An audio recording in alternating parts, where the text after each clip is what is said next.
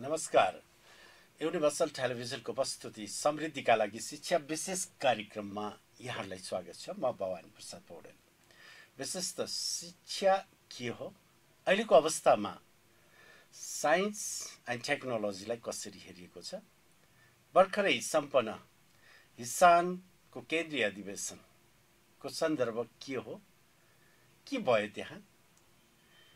त्यहाँ विवादको बिचमा यो समस्या झन् उल्झिँदै गइराखेको छ यसलाई कसरी समाधान गर्न सकिन्छ? अथवा अबको बाटो के हो? यिनै विषयमा आज हामी छलफल गर्नेछौँ। आजका अतिथि हुनुहुन्छ डाक्टर माधव प्रसाद बराल। नेस फाउन्डेसनका फाउन्डर चेयरपर्सन हुनुहुन्छ। सँगै शिक्षा क्षेत्रमा लामो समय व्यतीत गर्नुभएका शैक्षिक व्यक्तित्व शिक्षाविद स्पष्ट वक्ता र सँगै सकारात्मक सोचका खानी र शालीन व्यक्तित्व हुनुहुन्छ। सरलाई स्वागत छ। डाक्टर साहब आरामै हुनुहुन्छ। ठिकै डाक्टर साहब अहिले के छ केमा समय बिताइ गरिरहनु भएको छ? अब यसो छ मेरो संस्थाहरू धेरै छन्। अब निस नाम जोडिया संस्थाहरू छ। धेरै। अब तिनीहरूसँगै म चाहिँ अहिले चाहिँ आबद्ध छु। हजुर। तिनीहरूको अब पठन पाठनमा त धेरै अब छोडिसकेँ मैले। अब धेरै जस्तो चाहिँ प्लानिङहरू त्यसको प्लानिङहरू र। अर्को एडमिनिस्ट्रेसन फाइनेन्स त्यस्तै चाहिँ हेर्छु म। त्यसमा पनि मानिसहरू छन् त्यसमा चाहिँ पर्टिकुलर फाइनेन्स त आफूले हेर्नुपर्ने हुन्छ। र त्यो चाहिँ त्यसरी दिन बित्दैछ र पर्टिकुलरली अब यो हिसानको विषयमा तपाईँले सोध्नुभयो नि। हिसान चाहिँ हामीले दुई हजार बाहन्न सालमा होइन? दुई हजार बाहन्न सालमा जब चाहिँ पचास सालमा हामीले हामी पहिलो थियौँ प्लस। टू खोल्ने। हजार पचास सालमा हामीले प्लस टू खोलिसकेपछि हाम्रा चाहिँ प्लस टू भनेपछि यता पिसिएल फेज आउट भएको थिएन त्यो बेला। थिएन। थिएन, पिसिएल। भएको थियो पिसिएलको पनि त्यो के भयो भनेदेखि वास्तवमा प्लस टू प्रोग्राम भनेको पहिले प्लस टू थिएन। हजुर। टेन प्लस टू थियो। हजुर। त्यो त्यो चाहिँ पञ्चायतको पालामा हो। हजुर। होइन? छ्यालिस सालमा जब पञ्चायत गएपछि। अनिखेरि अब त्यो चाहिँ टे- टेन प्लस टू चाहिँ त्यसै बसिया थियो। र त्यो त्यसमा के भयो भनेदेखि वर्ल्ड ब्याङ्कको एउटा ठुलो त्रिभुवन विश्वविद्यालय एउटा लोन आयो डाक्टर माथेमाको बेलामा। त्यस बेलामा चाहिँ हामी के अरे अब चाहिँ प्लस टूलाई पनि अब चाहिँ दस मात्र होइन दस प्लस दुई गर्दै हो भने हामी लोन दिन्छौँ भने वर्ल्ड ब्याङ्कले राख्यो यदि त्यो गर्दैनौँ भने हामीले दिँदैनौँ दिन मिल्दैन। मिल्दैन। भनेपछि अब त्यहाँबाट चाहिँ के भयो भने अब र उसको अर्को पनि थियो के भने प्लस टू सर्टिफिकेट लेभल भनौँ न त्यति बेला हो अहिले प्लस टू भने हामीले सर्टिफिकेट लेभललाई चाहिँ प्लस टूमा कन्भर्ट गर्नुपर्छ भन्ने हो हजुर त्यति बेलामा भएका त्रिचन्द्र कलेज आजकल अरू जति थिए नि सर्टिफिकेट लेभलहरू थिए ती सर्टिफिकेट लेभलहरूलाई अब फेज आउट गर्नु पऱ्यो होइन वर्ल्ड ब्याङ्कको अनुसार फेज आउट गर्नु पऱ्यो फेज आउट गर्नको लागि अब चाहिँ के गर्ने भने दस प्लस दुईको धारणा जुन थियो नि पञ्चायत कालमा हजुर। होइन त्यसैले ल्यायो तर के गर्ने भनेदेखि अब धेरै स्कुलहरूको त सर्टिफिकेट लेभलका त दससम्म छैन। एघार बाह्र मात्रै छन् भनेपछि अब चाहिँ तिनीहरूलाई पनि अब उसमा ल्याउने के अरे एघार बाह्रमा। स्कुलमा। ल्याउने। स्कुलमा ल्याउनु सम्भव भएन भनेपछि अब त्यसै बेला सांसदले के गर्यो भने चाहिँ संसदमा छलफल भएर ल अब चाहिँ एघार बाह्र मात्रै खोल्न पाउने. प्राइभेटमा पनि पाउने होइन। अब उसले सार्वजनिक। विद्यालय सामुदायिक पनि खोल्न पाउने अब त्यो विश्व- विश्वविद्यालयमा त्यति बेला रेजिस्ट गरे सबैले। है होइन हुँदैन हामी खोल्दैनौँ भने किनकि सर्टिफिकेट लेभल त पछि फेरि आउनु भयो नि त हजुर है तर हामीले चाहिँ त्यति बेला के मौका पायौँ भने है अब टेन प्लस टू मात्रै पनि खोल्न पाउने मौका पाइयो। र वी आर फर्स्ट ब्याच होइन हामीले पहिले सुरुमा गऱ्यौँ है सुरुमा गरिसकेपछि अब हाम्रो चाहिँ एउटा केही त सा- उहरू भए मेम्बरहरू भयौँ त्यसको प्लस टूका मेम्बर भएपछि अब मेम्बरले आफ्नो हक हितको लागि त्यति बेला त धेरै कु- कुराहरू चाहिँ एकदम उसमा थियो। हजुर त्यो बेला त जस्तो टेन प्लस टू चलाउने र जेरो प्लस टू चलाउने सङ्ख्या चाहिँ सीमित थियो। होइन टेन प्लस टू भन्ने त छँदै थिएन भएन। थिएन। होइन भर्खर भयो। त प्लस टू मात्रै। Zero plus two. Zero plus टूको त हामी फर्स्ट ब्याच भयौँ त हामी फर्स्ट ब्याच भयौँ। अब हामीले चलायौँ। चलाउँदाखेरि त्यति बेला आई थिङ्क मैले चलाउने बेला जम्मा दुईवटा कि तिनवटा थिएँ। चलाउने मान्छे आएन नि त। पहिले बिलिकै गर्नु होइन? तर अब हामीले त्यहाँ आइसकेपछि जब हामी चाहिँ पछा बाहन्न सालमा अलिक हामी मेम्बर भएपछि अब हामीले पनि के भने हाम्रो पनि हक हितको लागि जस्तै प्याप्सनहरू जस्तै अब यी प्लस टूको पनि हक हितको लागि चाहिँ होइन एउटा सङ्गठन हुनु पर्यो भनेर शिक्षालयहरूको एउटा। सादा सङ्गठन हुनुपर्छ भन्ने? मान्यतामा अगाडि बढ्नु त्यति बेला प्याप्सनले दससम्म मात्रै हेर्ने। एघार बाह्रको थिएन। र अब त्यति बेला चाहिँ सरकारले हामीले के गरिदिएको थियो भनेदेखि जति सर्टिफिकेट लेभलहरू फेज आउट गर्ने मह्म। होइन? लेभल फेज आउट गर्ने भनेर सरकारले भन्न त भन्यो सकेन। तर पछि युनिभर्सिटी अथवा जसलाई पनि दरबन्दी नै दिएन। मह्म। दरबन्दी नदिइसकेपछि त बिस्तारै बिस्तारै त उनीहरू त उस भए। होइन? र अब जुन चाहिँ प्लस टूहरू स्कुलमा गयो नि होइन? स्कुलमा गभर्मेन्ट स्कुलमा पनि प्लस टू भयो त्यहाँ पनि दरबन्दी दिएन। दिएन। हजुर। यता- यतातिर पनि उ गरिदियो। दरबन्दी नभएपछि प्लस टू स्कुलहरू छन् गभर्मेन्ट स्कुलहरू त्यो सुक्दै गए त्यसमा दरबन्दी पनि भएन उता आइएसएम फेज आउट गर्यो सर्टिफिकेट लेभल फेज आउट गर्यो त्यति बेलाले गर्दाखेरि अब हाम्रो मा चाहिँ चाप बढ्यो स्कुलको सङ्ख्या पनि बढ्यो। चाप पनि बढ्यो। र अनिखेरि अलिअलि गरेर भनौँ न म चाहिँ त्यति बेलामा विद्यार्थी र अभिभावकको बिचको एउटा विश्वास हो नि। त्यो जेरो प्लस टू प्रति बढ्दै गयो। बढ्दै गयो। र उसले पनि जाँच टाइममा नगरिदिने सर्टिफिकेट लेभलको जाँचै टाइममा नगरिदिएपछि रिजल्टै ननिकालेपछि त त्यसै पनि है त्यो चाहिँ फेज आउट पोजिसनमा गभर्मेन्टले बाध्य पार्यो। हजुर। जसरी अहिले एघार बाह्रले पनि बाध्य पार्दैछ नि बिस्तारै। कि त जा होइन होइन भने त छोड। एक्ज्याक्टली। त्यही सिचुएसन थियो सर्टिफिकेट लेभलको। अब त्यस बेला हामीले छोडियो र बाहन्न सालमा पहिलो चाहिँ हाम्रो चाहिँ उहाँ हुनुहुन्थ्यो हामी सबै मेम्बर थियौँ उमेश सर पनि हुनुहुन्थ्यो बाबुराम सर पनि हुनुहुन्थ्यो गीता ऊ मनोरमा राणा। राणा, उहाँ चाहिँ हुनुहुन्थ्यो हजुर। सीताराम होइन मनोरमा है उहाँ चाहिँ है हुनुभयो तर पछि चाहिँ चार पाँच वर्षसम्म उहाँले उ गर्नुभयो गरेपछि पछि चाहिँ त्यति बेला ऊ भयो के भन्छन् यो अँ, के भनेदेखि मनोरमा मनोरमा राणा अध्यक्ष बन्नुभयो। कस्तो भन्नुभयो तर पछि उहाँ खसेपछिको हजुर हजुर। सिचुएसन चाहिँ केही समय तरलता भयो। त्यहाँनिर एक्टिभली आउन सकेन आउन सकेनन्। त्यसको पनि कारण थियो। हजुर। दुईजना जुन मेन हुनुहुन्थ्यो नि हजुर। बेला मोनिटरी पार्ट पनि इन्फ्लुएन्सियल। अरू थोक पनि इन्फ्लुएन्सियल भएको जो के अरे हाम्रो उमेश श्रेष्ठ सर हाम्रो चाहिँ हाम्रो उसको के अरे उसको डाक्टर डाक्टर बाबुराम पोखरेल। हजुर। पोखरेल। उहाँ दुईवटा चाहिँ प्याप्सनमा लाग्नुभयो। हजुर। अब यो चाहिँ बिस्तारै हामी थियौँ छन्द मेम्बर थियौँ। तर बिस्तारै बिस्तारै हामीले। होइन उ गर्दै गयौँ। त्यति बेला चाहिँ हामीले धेरै काम गरेका थियौँ। करिकुलम ऊ छु पाठ्यक्रम गर्ने निर्वाह गर्ने त्यसमा चाहिँ तपाईँलाई क्वेसन पेपर गर्ने मोडल क्वेसन बनाउने ठाउँ ठाउँमा जाने होइन ऊहरू गर्ने गोष्ठीहरू गर्ने त्यो गरेर त्यो गरेर गरेको त्यो अहिलेसम्म पनि ती कोर्स। पाइरहेको थियो अहिले पनि। है अब त चेन्ज भयो भनौँ न। त्यति बेला धेरै दुःख गरेको थियो। र एउटा प्लस टूको करिकुलमलाई हामीले वर्ल्डको उसमै पुर्याइसकेको थियौँ। त्यस्तो उसमा थियो। गरेको थियो त्यो साथ दुःखै गरेको थियो। र अब त्यसपछि चाहिँ बैसठी सालमा आएर चाहिँ अब चाहिँ फेरि चाहिँ गर्नु त्यसलाई पर्यो रिभाइभ गर्नु पर्यो बाबु सर र ऊ- उमेश सर पनि यता आउनु चाहनु हजुर। प्याप्सनको मोहमा अलि बिस्तारै उहाँ बिस्तारै चाहिँ भन्नुभयो। प्याप्सनको अब प्रमुख सल्लाहकार हुनुहुन्थ्यो त्यो बेला। साहब त्यहाँ जस्तो उमेश श्रेष्ठ सर हामी एयरलेमै त्यो खालको एउटा वातावरण बनायौँ। र त्यसपछि जस्तो त्यो बेला सरको अध्यक्षतामा चुनाव गर्ने गरी कमिटी गठन भयो। कमिटी भयो। त्यसपछि हामीले चाहिँ वास्तवमा त्यति बेलाको चुनाव चाहिँ यहाँ उसमा गऱ्यौँ यो के अरे होटल यो छ नि चावलको के होटल चावलको होटल हायत हायत हायत हायतमा। हायतमा हायतमा हामीले त्यो चाहिँ गऱ्यौँ सम्मेलन गऱ्यौँ सम्मेलन गरेर त्यहाँनिर चुनाव भयो चुनावमा उहाँ दुइटा आउनुभयो निर्विरोध भयो निर्विरोध भयो त्यसमा बिना विवाद एउटा कमिटी फर्म भएर उहाँहरूले कार्य।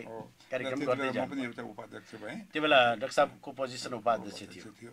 है। भनेपछि डाक्टर साहब के छ? अहिलेसम्म अ, इसानमा अध्यक्ष बन्नु भएको छ कि छैन? म छैन। होइन अध्यक्षमा यसो हो। वास्तवमा त्यसपछि उमेश सरले फेरि दुईवटा टर्म खानुभयो उहुँ, अनि बाबुङ सर चाहिँ त्यही आइजिटी हुनुहुन्थ्यो। त्यस बेला बाबुङ सरलाई चाहिँ मन त थियो। भनौँ भने अब मन थियो हाम्रो चाहिँ बहत्तर सालमा। अब। बहत्तर सालमा। पहिले बहत्तर सालभन्दा अगाडि दुई वर्ष अगाडि भनौँ न। सत्तरी सालतिर चाहिँ हाम्रो फेरि चाहिँ चुनाव गर्ने भनेको त्यही पार्क भिलेजमै भएको थियो. पार्क भिलेजमा त्यो खालको राम्रोसँग सम्पन्न हुन सकेन त्यसको केही कारण समय रोकियो कारण के थियो डाक्टर साहब? त्यसको कारण त त्यही हो कि म पनि एउटा म कति उपाध्यक्ष भइरहनु सर मलाई पनि त दिनु पर्यो नि केही ठाउँमा। भनेको थिएँ मैले अनि त्यति बेला चाहिँ मेरो के भनेको थियो भनेदेखि यदि उमेश सरले छोड्ने हो भने यदि बाबुराम सरले छोड्ने हो भने। तपाईँहरू दुईवटा बसुन्जेल तपाईँहरूलाई म पूजा गरेर राख्छु अध्यक्ष उपाध्यक्षमा। हजुर। तपाईँहरूले छोड्ने हो भने म पाउनु पर्ने मैले। अँ, भने हजुर। एक्ज्याक्टली यस्तै सिचुएसन यस्तै मान्छेहरू यति जम्मा भएर यति भएको थियो। त्यति बेला त्यो भइसकेपछि त्यहाँनिर सम्पन्न हुन सकेन सकेन, विवाद विवाद विवादित भयो। त्यति बेला फेरि चाहिँ हामीले चाहिँ दुई वर्षको लागि उहाँहरूलाई दियौँ। भनेपछि त्यो बेला उमेश सर र बाबुराम सरले चलाउने गरी। हजुर। अनि त्यसपछि चाहिँ गएर अनिखेरि उसमा गएर बहत्तरमा गएर हजुर। अनिखेरि यो हाम्रो ट्रेड टावरमा ट्रेड टावरमा हजुर। होइन? अनि फेरि चाहिँ होइन? अब चाहिँ चुनाव गऱ्यौँ भने साधारण सभा सभा बोलायो। चुनाव गर्ने भने हामी सुरु गऱ्यौँ। सुरु गर्दा त्यहाँ चाहिँ के भयो भने फेरि त्यही अस्तिको जस्तै सिचुएसन ट्रेड टावरमा त्यो सिचुएसन फेरि दोहोरियो। दोहोरियो। त्यो दोहोरिँदाखेरि चाहिँ के भयो भने अहिले बाबा सरलाई चाहिँ इच्छा त थियो अनि। उहाँ त अध्यक्ष हुनु भएन कहिले पनि अध्यक्ष थियो। अनि मैले बाबुराम सरलाई भने सर म चाहिँ अरूलाई त मान्दिनँ। तपाईँ म सिनियर जे भए पनि अहिले स्कुल म मान्छु। र म चाहिँ विड्र गर्छु। है भनेर भने उहाँले चाहिँ होइन होइन म चाहिँ उठ्दिनँ भन्नु उहाँले। हजुर। उहाँले। स्वास्थ्यको कारण देखाएर म उठ्दिनँ उमे- भन्नु। उमेश चाहिँ उठ्ने भयो उमेश भर्सेस मेरो भयो। हजुर। है भन्यो त्यहाँनिर। अँ, अनि त्यहाँदेखि अस्तिको जस्तो बाह्र एक बज्यो। हजुर। त्यति बेला चाहिँ बाबुराम सर र उमेश सर हुनुहुन्थ्यो। अनि उहाँलाई चाहिँ अलिकति प्रेसर पऱ्यो बाहिरबाट। उमेश सर बाबुराम सरलाई। उहाँ प्रेसर परेपछि के गर्ने? भनेपछि उहाँले मलाई बोलाउनु भयो के गर्ने बराजी छोडिदिनुहोस् त्यसपालि अर्कोपल्ट तपाईँ पालो आइहाल्छ नि यही कुरा भन्नु उहाँले उहुँ। अनि साथीहरू पनि अब जानुलाई चाहिँ अस्तिको सिचुएसन। होइन अब यस्तो भएपछि मैले छोडिदिएँ र मैले पनि त्यति बेला चाहिँ बसेर उहाँहरूलाई नि शिवराज सरलाई नि अध्यक्ष बनाएर हामीले सबै गरेर होइन त्यो बेला जस्तो रमेश सिलवाल सर अध्यक्ष हुँदै गर्दा. ट्रेड टावरमा। सरहरूको बिचमा केही सहमति भएको थियो? त्योभन्दा पहिले होइन त्यति बेला सहमति त्योभन्दा पहिले चाहिँ. होइन उहाँले भन्नुभएको थियो कि म चाहिँ एकपल्टलाई हुन्छु त्योभन्दा सहमति लिखित त थिएन। होइन मौखिक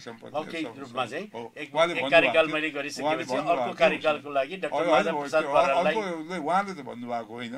उहाँले चाहिँ मलाई एकपल्ट हुनु दिनुहोस् भने अब। त्यसपछि पछि जो हुनुहुन्छ जो जो- म मसँग सहमति भएको छ होइन। पनि यसपटकको जस्तो आठौँ महाधिवेशन जुन पार्क भिलेजमा हुँदै गर्दाखेरि जस्तो कार्यक्रम त भव्य सभ्य किसिमले भयो देशकै सम्माननीय राष्ट्रपतिज्यूबाट समुद्घाटन भएको कार्यक्रम। यसको समापनमा त धेरै प्रश्नहरू उठान भयो नि। डाक्टर साहब कारण के थियो? अब यसमा चाहिँ मैले एउटा कुरा के भन्नु भने कुरा त्यही आयो कि अब हामीले जुन सोचेको थियो नि हिसानको हजुर। जुन हिसान भनेको एउटा चाहिँ डाइनामिकली एजुकेसन सेक्टरमा जाने होइन? र पर्टिकुलरली एघार बाह्रको हक हितको लागि। त्यसको सुरक्षा त्यसमा भएका करिकुलम सम्बन्धी त्यसमा करिकुलम विवाद भएको थियो नि त एघारलाई के गर्ने के भन्ने। त्यस त्यस्तो सम्बन्धी कुराहरूमा त्यसमा हामी लाग्नु पर्नेमा त्यो कुरा लागिएन। एउटा मेरो भनाइ।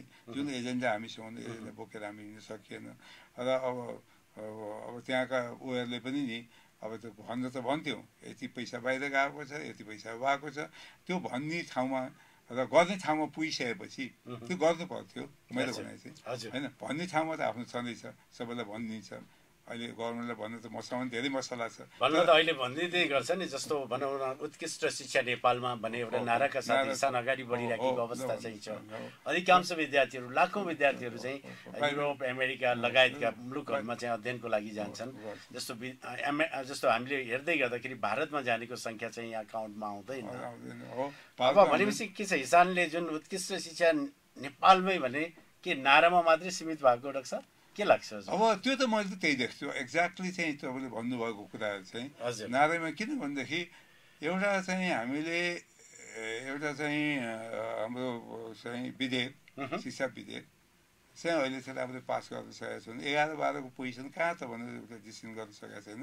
अझ अब चाहिँ के छ भने अहिले चाहिँ अब होइन अलिकति सम्पत्ति सम्बन्धी ऊहरू प्राइभेटाइजेसनको अलि भएको हुनाले न त हिजो अस्तिसम्म हामीले एउटा गाडी किन्नु पर्यो भने हामीले प्लस टूलाई सोध्नु पर्थ्यो मह्म। हामी गाडी किन्दैछौँ भनेर।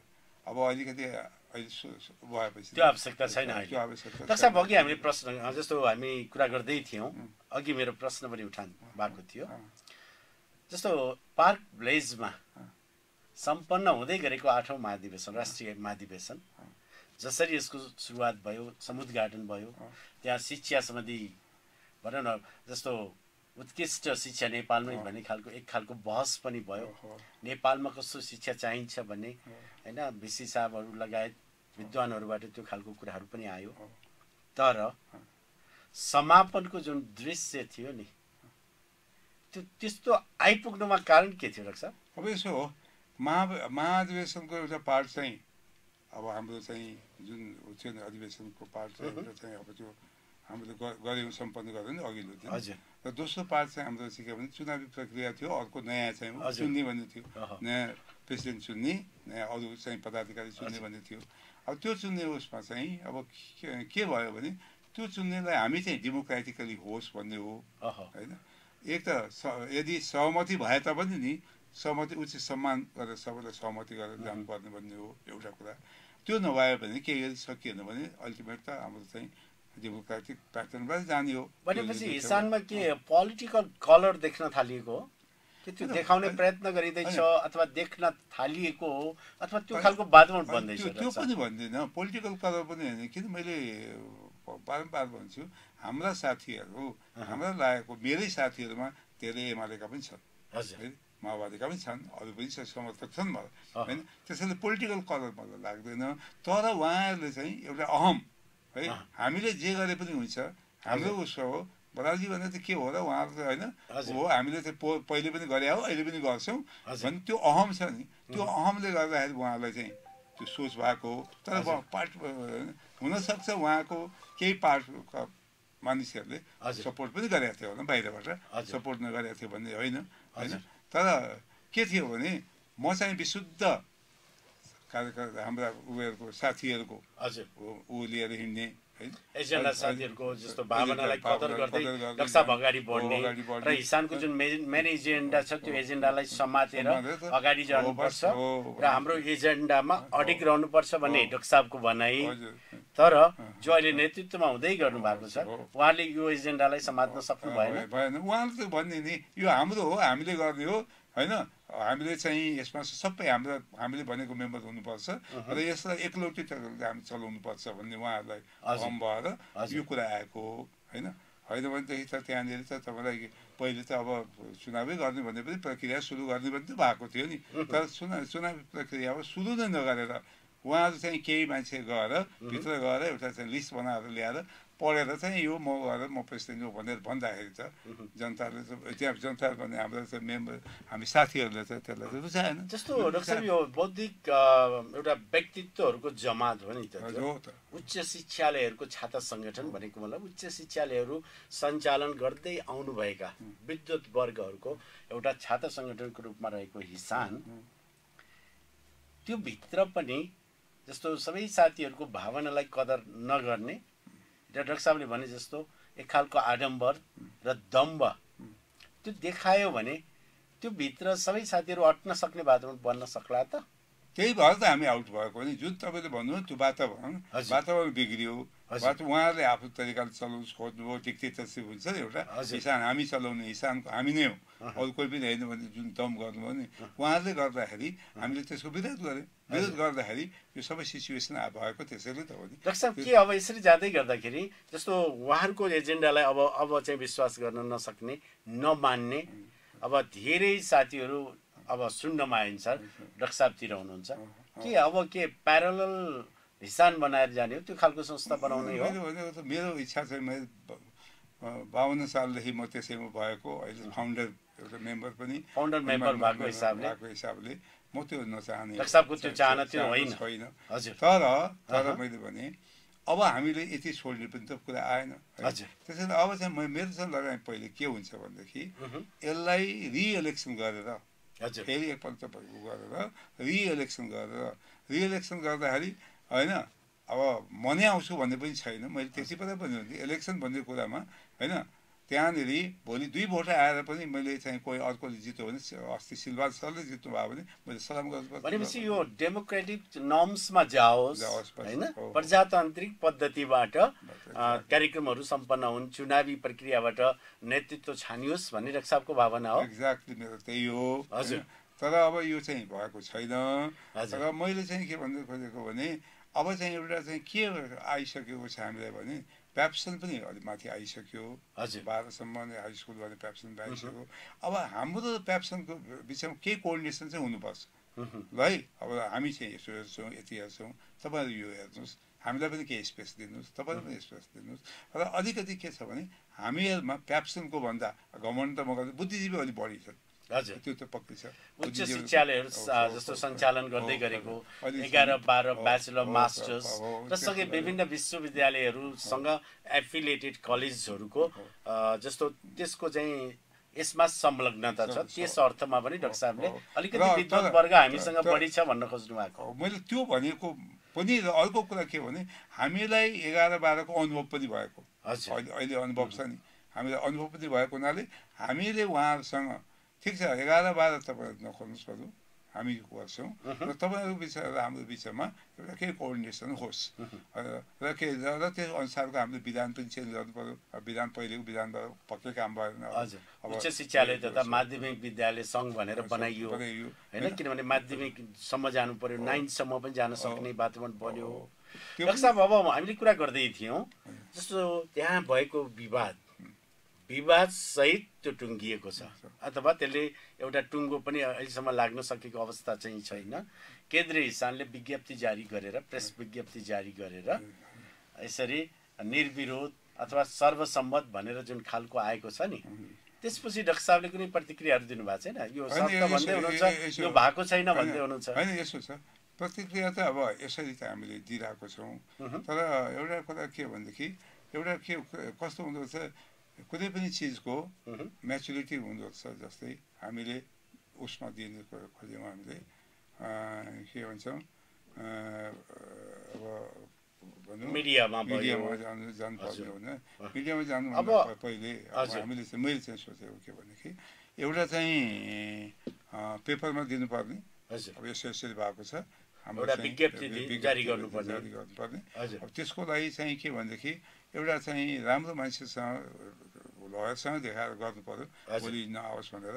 उहाँले हिजो पनि मैले कुरा गरेको थिएँ। सरहरूको चाहिँ एकजना छ सातजनाको चाहिँ तपाईँहरूको जो हुनुहुन्छ त्यसलाई विरोध गर्ने त्यसको नाउँसहित पठाउनु भयो भने राम्रो हुन्छ। नत्र हुँदैन भन्ने कुराहरू भएको थियो। र। अलिकति मैले उमेश सरलाई पनि मैले त मानिरहेको उमेश सरको पनि चाहिँ एउटा उहाँको उम्, भनौँ न गेस्ट सर उहाँले के गर्नुहुन्छ के भन्नुहुन्छ? हामीले पर्खिया हो। र एकैपल्ट हतार गऱ्यौँ त्यो हतार गर्दाखेरि फेरि फेरि त्यसको रिजल्ट चाहिँ। फेरि होइन, त्यो रिजल्ट। आउँदै गर्दा पछुताउन पनि नपरोस् होइन हामी त भनिहाल्नु ती पनि तपाईँ सायद हुनु तपाईँ पनि हुनुहुन्थ्यो ती सायद हामीले पनि बलमा चाहिँ गरे भए त्यहाँ चाहिँ रक्तपातै हुन्थ्यो त्यो अवस्था पनि सक्थ्यो आउँथ्यो किनभने भित्र ढोका ढोका बन्द गरेर बसेको छ नि बाहिरबाट खेलेको छ होइन त्यही बेलामा पनि नि हामीले नरोक्या भए त्यहाँ के पनि हुन्थ्यो अर्को अर्को एउटा भयावह। स्थिति पनि आउन सक्थ्यो। मान्छे त्यसो त गर्दैन। त्यो गर्न सुहाएन। डाक्टर साहब के छ अब? अबको कानुनी उपचार के त? अब अब कानुनी उपचारमा मेरो चाहिँ भनाइ चाहिँ त्यही हो। साथीहरूबाट धेरैबाट मैले फोन पनि पाइसकेको छु। अब चाहिँ भएको एउटै कुरा पनि हिसाबलाई अब लानको लागि रिइलेक्सन गरेर यसको चाहिँ उ गरौँ पदाधिकारी आफ्नो आफ्नो ठाउँमा बनाऊ। त्यो बनाएर अब त्यसपछिको त हाम्रो काम त धेरै छ। हजुर अब अधिवेशन गर्ने अधिवेशन गरेर तपाईँलाई चाहिँ कानुनी रूपले अब हामी कहाँ हुन्छौँ के हुन्छौँ त्यो विधान छ नि त्यो विधान पुरानो भयो। अब यो प्याप्सनसँग अरू सङ्गठनसँग हाम्रो चाहिँ के रिलेसन हुने कसरी जाने हामीले कुनदेखि कुनसम्मलाई हामीले चाहिँ आफ्नो गर्ने कि होइन? अहिलेदेखि हाई स्कुल प्लस टू पनि हाई स्कुल नै पऱ्यो। त्यसपछि सिटिबिटीका प्रोग्रामहरू छन् त्यसपछि हायर एजुकेसन छ। यिनीहरूसँग हाम्रो कसरी कोअर्डिनेसन हुने कस को मेम्बर यसका मेम्बरहरू को हुने भन्ने कुराहरू हामीले चाहिँ छलफल गर्ने छ त्यो छलफल व्यापक गर्ने। त्यसपछि चाहिँ अब हामीले चाहिँ विधान भएर त्यो छलफल भएर अनि त्यसपछि चाहिँ हामीले चाहिँ अब अगाडि जाँदाखेरि होइन? अनेक खालि पदाधिकारी सुन्ने अब नयाँ तरिकाले जाने भन्ने कुराहरू हुन्छ। अब त्यो चाहिँ अब एक कार्यकाल त तिन वर्ष नै हो लागिहाल्छ त्यसको लागि। तिन वर्षपछि हामी त्यसपछि अब त्यो नयाँ विधानअनुसार नयाँ उयोअनुसार होइन? म चाहिँ त के चाहन्छु भने एउटा राम्रो टिम आएर त्यसलाई चलाओस् र म त्यति बेलासम्म म चाहिँ काम गरेर एउटा हिसानको एउटा भनौँ न अब अब नाउै चेन्ज गर्ने पनि अब के हो मैले भन्न सक्दिनँ। नाउँ चेन्ज गर्नु पनि अलिकति अप्ठ्यारो त अप्ठ्यारै छ त्यो उसमा। किन नाउँ चेन्ज गरेपछि जुन हाम्रो हिसानको स्मेल छ नि त्यो स्मेल फेरि होइन? उगोला भन्ने छ त्यो छ एउटा फेरि त्यो छ।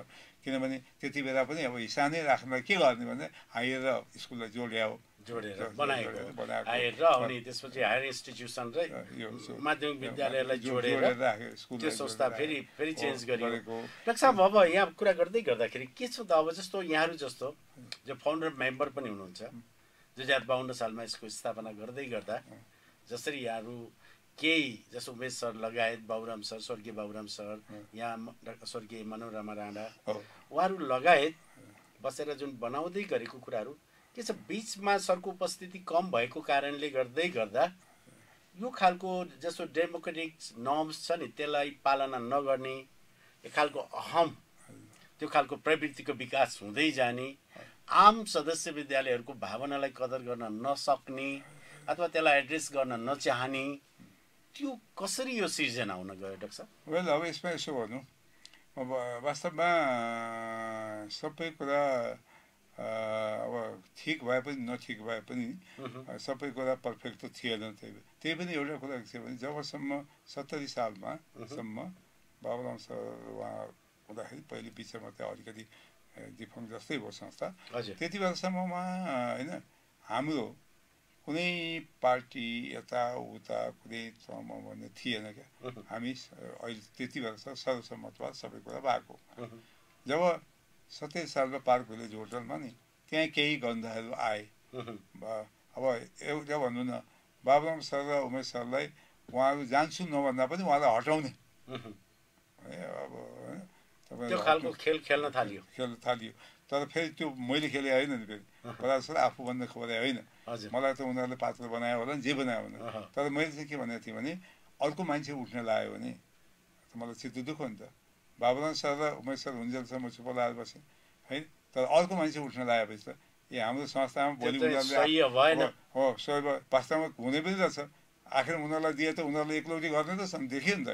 है त्यसैले मैले तीदेखि विरोध गरेँ अब। त्यही विरोध गरेँ।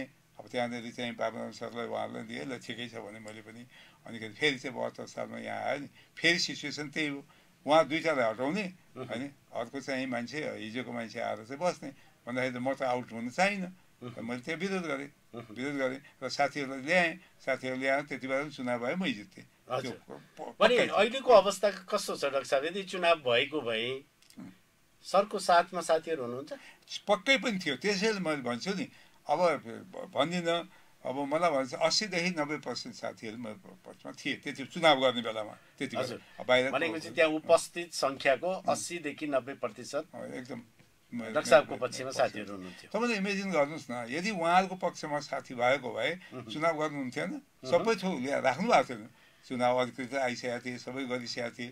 उहाँहरूले भन्नु। भइसकेपछि चुनाव मतदान अधिकृतहरूको त्यहाँनिर हो, उपस्थित भइसकेपछि थियो। चुनावी प्रक्रियामा हो, लगिदिया भए यो समस्या आउँदैन थियो। किन आउँथ्यो? म दुई भोट आयो भने म हार्यो भने उहाँ सिलवाल सरले जित्नु भयो म नमस्ते गर्छु ल सिलवाल सर। बधाई चाहिँ दिन्थेँ। होइन र त्यो केही पनि भएन। ससम्मान त्यहाँबाट बिदा हुने बाटो बन्थ्यो। भन्थ्यो तर भोलिपल्ट पनि म हिसाबमै जान्थेँ उहाँलाई नै म गर्थेँ रेस्पेक्ट गर्थेँ त्यहीँ बस्थेँ। मेम्बर भएर बस्थेँ म त लाइफ मेम्बर हो हजुर। हो बस्थेँ मलाई कुनै प्रब्लम थिएन।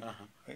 तर उहाँले जुन उ गर्नुभयो जुन देखाउनु भयो जुन हो त्यसले गर्दाखेरि त्यसको विरोध गरेँ मैले हजुर। उहाँ त्यो डाक्टर भयो। साहब अलिकति फरक प्रसङ्गमा जाउँ जस्तो हिसानको अबको बाटो भनेको कानुनी उपचारको लागि डाक्टर साहब जानुहुन्छ। कानुनी उपचार प्राप्त गरिसकेपछि आम सदस्य विद्यार्थीहरूलाई फेरि समेटेर सबैको भावनालाई कदर गरेर त्यहाँ नेतृत्वको विकास गर्ने गरी डाक्टर साहब अगाडि बढ्नुहुन्छ। मेरो चाहिँ अहिलेको त्यो हो त्यो हो डाक्टर साहबको त्यो। अन्तिम अहिलेको अहिलेको अवस्थाको उद्देश्य चाहिँ। त्यो छ। डाक्टर साहब जस्तो कुनै समय रोनासमा हुनुहुन्थ्यो हजुर? मैले चाहिँ छयालिस सालमा रोनास जोइन गरेँ। हो। छयालिस सालमा जोइन गरेर मैले चाहिँ पचास सालसम्म भनौँ न। पचास साल भन्दा पनि अलिक पछिसम्म। करिब अठार पन्ध्र वर्ष भनौँ अठार वर्ष पन्ध्र वर्ष मैले चाहिँ पन्ध्र वर्ष पनि अलिक पुगेन। किनकि मलाई पन्ध्र वर्ष भयो भए त्यो एक महिना पाइन्थ्यो। मैले आधा महिनाको मात्रै पाएँ त्यो उपदान थियो त्यति बेला पेन्सन थिएन। थियो। मैले नोमिनल पैसा थियो त्यो पनि मैले त्यति बेला लिएको थिएन। मैले गरेँ। र साहब अब मैले अन्तिमतिर अब समय लगभग हामी समयको अन्तमा छौँ। मलाई छोटोमा भनिदिनुहोस् न। डाक्टर साहबले रोनास छोडेर निजी स्तरबाट सञ्चालनमा आउने जस्तो शिक्षाले सञ्चालन गर्ने जुन त्यो रोज्नु भयो नि किन त्यतातिर जानुभयो? त्यसको एउटा के छ भने रोनास साइन्स वैज्ञानिकहरूको एउटा काम गर्ने काम गर्ने एउटा थलो हो त्यो। थलो हो। हजुर। अब म त्यो अब त्यति बेला मैले इमेजिन गरेको थिइनँ कि है रोनासमा प्रशासनिक प्रशासनिक काम धेरै हुने। यो के अरे यो रिसर्च बेसका कामहरू चाहिँ नहुने। नहुने। होइन हुने धेरै तर हामीले जति अपेक्षा गर्छौँ त्यो अनुरूपको नहुने।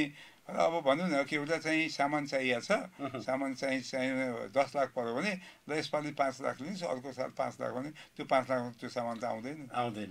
अर्को साल कुद्नु पऱ्यो त्यो। अर्को सालसम्म त्यो भयो फेरि गइसक्छ फेरि।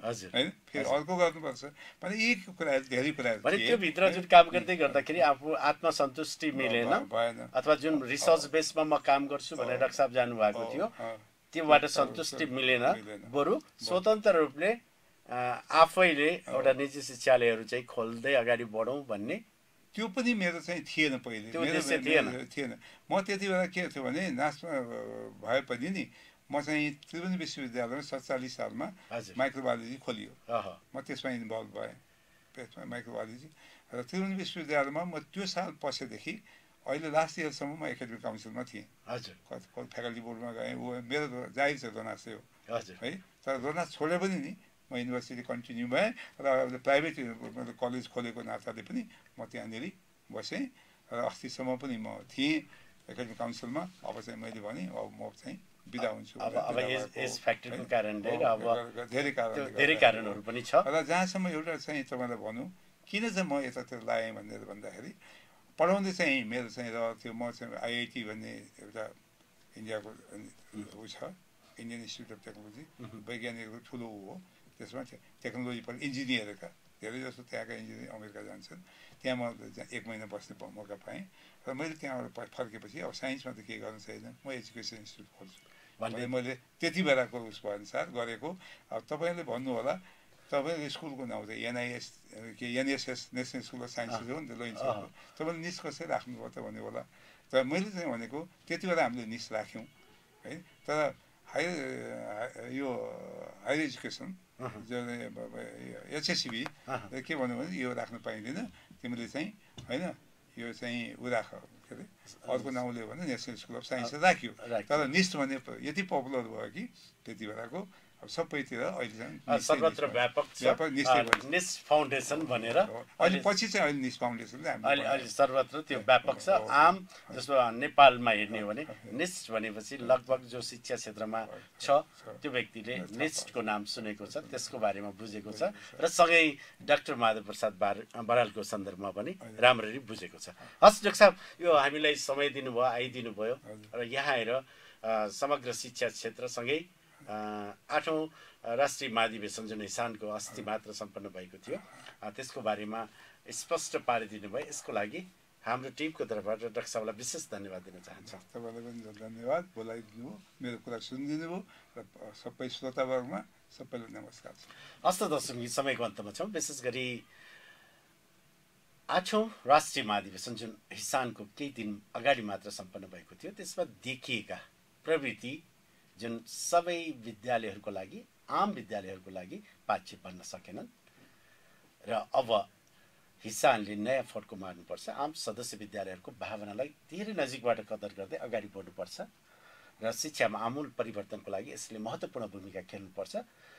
सँगै शिक्षालाई जीवन उपयोगी बनाउनुपर्छ एउटा सर्टिफिकेट दिने एउटा माध्यमको रूपमा मात्र यसलाई विकसित गर्नु हुँदैन भन्ने महत्त्वपूर्ण भनाइका लागि आजका अतिथिज्यूलाई विशेष धन्यवाद दिँदै बिदा हुन्छौँ।